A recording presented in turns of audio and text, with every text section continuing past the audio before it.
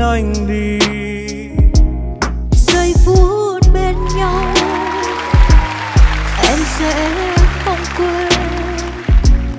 Chỉ có em thôi dù mai bóng hình xưa đời ai cũng có giây phút cho yêu dại khờ. Và anh đã biết em sẽ chẳng yêu anh đâu. Em sẽ không quên giây phút bên nhau. Em đã cho anh cho anh toàn anh và anh biết em sẽ quên hết những bài tình ca anh viết riêng tặng em. Và anh biết trái tim anh có bóng ai kia đâu chỉ riêng anh. Và em sẽ không trách anh nữa trả trách anh nữa khi ta đến bên nhau tình gian dối và anh biết em sẽ quên hết những bài tình ca anh viết riêng tặng em. Và anh biết trái tim em có bóng ai kia đâu chỉ riêng anh. Và em sẽ không trách anh nữa trả trách trả trách anh nữa. Khi ta đến bên nhau tình yêu dối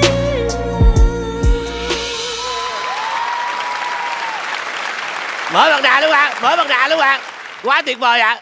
Nhân vật bí ẩn của chúng ta đó chính là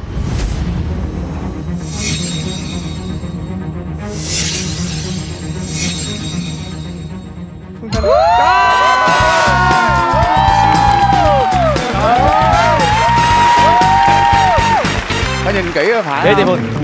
phương phương thanh phải không? Trời ơi thương quá vậy. Cái gì vậy mọi người? Mọi người sao vậy. Chết thiệt rồi. không em nghe rất là quen luôn. Chẳng qua là em chưa nhớ ra là em đã nghe ở đâu em là có ai nghe cái, em có nghe cái giọng rock á. Và anh biết em sẽ cái giọng rock không cái giọng đó không phải là cái giọng của chị phương thanh phương thanh bên đây bị sổ mũi. Nên cái giọng nó như vậy. Không không. Người này là hay dẫn chương trình với anh quyền linh lắm á nha. Chính vì vậy mà tại sao hồi nãy có một cái chi tiết mà mọi người không nói có nghĩa là hai cái người đã ăn xong thì đi vô với nhau xong rồi giống như là ngồi cái ghế giống như là dẫn chân chung một chương trình vậy đó. Dẫn chương trình với anh quyền linh. Gồm có chị hồng vân. Dạ. Nhưng mà nếu mà nhắc tới anh dẫn chương trình chung với anh quyền linh thì đa số mọi người sẽ nhớ tới ờ, chị cát tường. Đúng rồi đúng rồi. Chị cát tường là xuất thân là ca sĩ nha. Đúng rồi. Dạ. Vậy ba tôi thấy truyền hình mà. Dạ cái đó em có biết. Nhưng hôm nay chị cát tường đang ở đà nẵng. Thông tin đó ờ, bao nhiêu phần trăm ạ? Một trăm phần trăm. Chị phương thanh hiện tại đang ở đây. Không em chắc chắn đây không phải là chị phương thanh luôn. Hỏi đi ạ. Ờ, ở bên đó thôi. Ở bên đó ơi. Ở bên đó ơi. Ở bên đó thôi ờ. Hello em thương quá.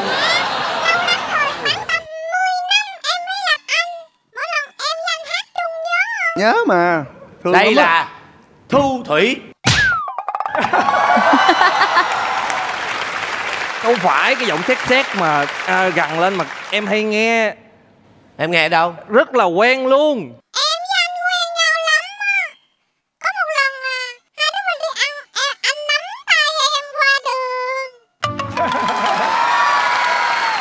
là có rồi nắm tay qua một đường. lần đi ăn nắm tay người ta qua đường. Chắc nắm tay nhiều người phải không? Nắm tay đâu có anh. Mà mà cái cái cái thời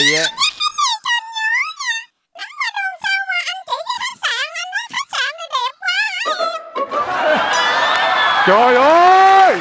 Ê, ghê chưa? Em ơi, chết người em có ơi. có bạn gái chưa? Dạ chưa. À không sao nắm tay một người gái dắt qua cái ừ, quán ăn này em nhưng mà sao cái bên có cái chàng đẹp quá em hả?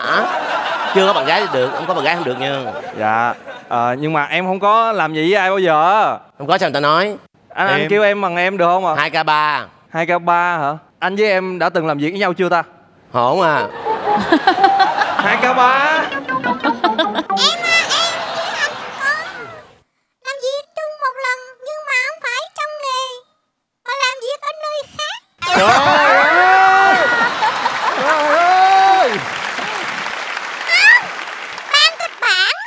ba ba kịch bản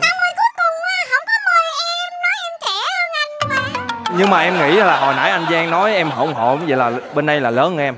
Ừ. Lớn hơn em là chắc. Hai hai k ba. Phận đàn bà. Lớn bao nhiêu tuổi cũng là phận em phụ nữ không có tuổi.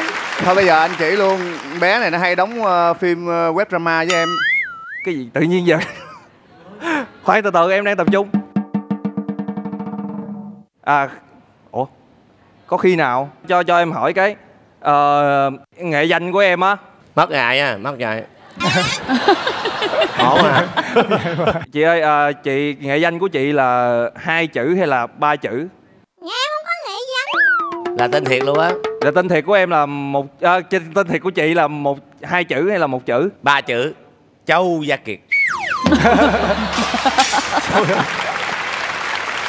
thôi đoán đi đây là ai anh à, có thể nhìn bàn tay bằng chân em không? Để à, anh nhớ lại lúc anh nắm tay. Dạ cho em xin nhìn đột bàn tay nếu em nắm. Sát chưa ạ. Đòi hỏi quá nhiều trong chương trình. Đúng rồi. Chân đi. Hỏi em nắm tay cho em nhìn bàn tay đi sao em nhìn bằng chân được? Thời gian nắm tay đã kết thúc rồi. Bây giờ tới lúc nắm chân nắm không? Nắm luôn. Đây. Chân anh rồi cho luôn. Nắm nắm. Rồi nắm tay nhau thật chặt bóp Rồi, được tay rồi. nhau thật đau. Rồi rồi Được bớt rồi. đi, bớt, bớt đi. Được. bớt đi. Được rồi. Nắm hoài. Khoan khoan nha khoan nha khoan nha. Em rất là dở. Khi em nắm mà em không có tập trung em có nghe cái mùi hương không? Ủa, mùi hương mỗi mỗi lần xịt khác nhau sao em biết được? Tào lao. Mùi hương cơ thể phụ nữ không bao giờ khác. Dầu thơm có thể khác em có nghe mùi lạp xưởng hồi nãy không? Đây là diệu nhi nhà chuyên bán lạp xưởng. Diệu nhi đã xuất hiện trong chương trình này. Giọng nhi nó cũng khàn vậy. Giọng nhi cũng khàn y chang vậy. vậy đó. mà nhi là chuyên bán lạp xưởng. Nghe cái tai mùi lạp xưởng không? Đoán đi ạ. Chị ạ.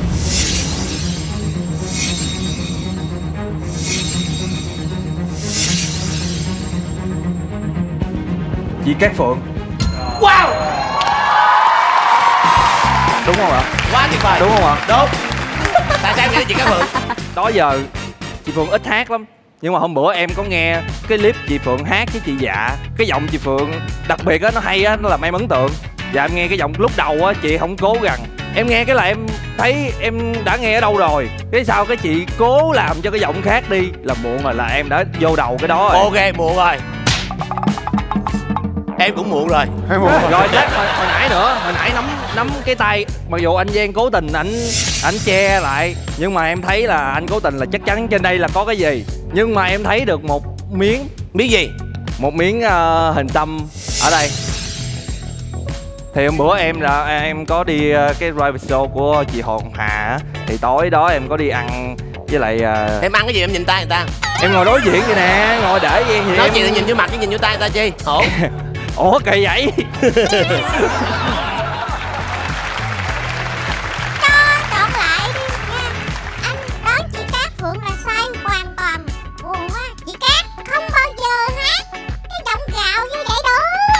Ai, quá mệt mỏi cho đi em. Tương lai sự nghiệp tan tành theo mây khói. Không lẽ chị Cát Tường nữa đâu? À, tại vì nãy có anh Quyền Linh nữa. Nhưng mà em nghĩ là mọi người đang lái em. Hãy chọn theo con tim của mình. Mách bảo. Em chọn gì Cát Phượng á. Cá phượng là lựa chọn cuối cùng. Âm nhạc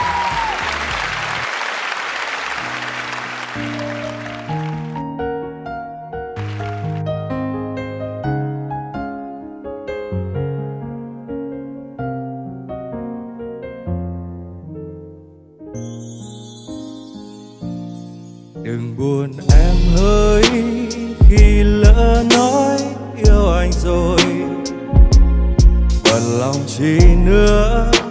Hỡi em xin anh quên anh đi.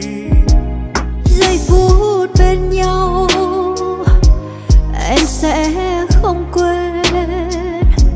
Chỉ có em thôi dù mãi bóng hình xưa.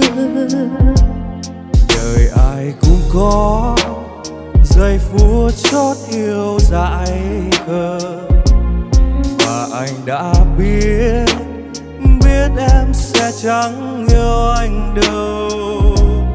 Em sẽ không quên giây phút bên nhau. Em đã trao anh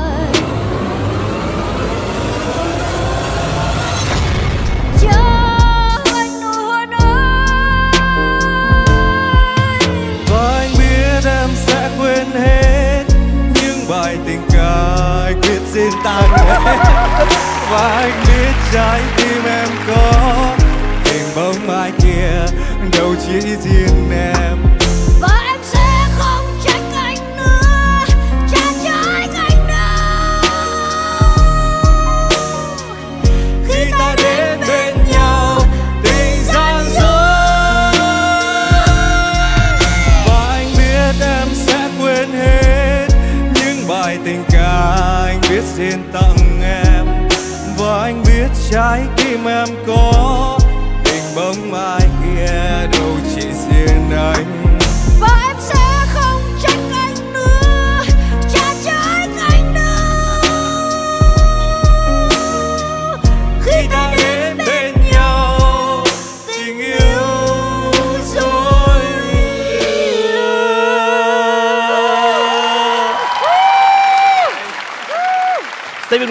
Đoán chính xác nghệ sĩ Cát Phương.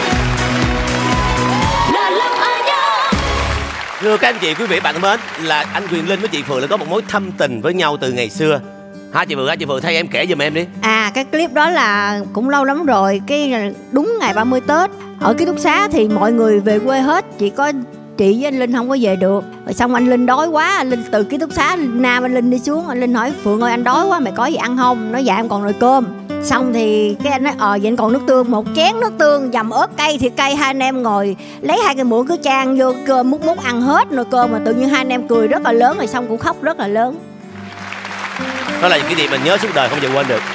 Còn đây là một kỷ niệm dành cho mình trong chương trình này là cái vương miện. Xin mời. Ôi là đầu tiên tôi mới thấy luôn Ôi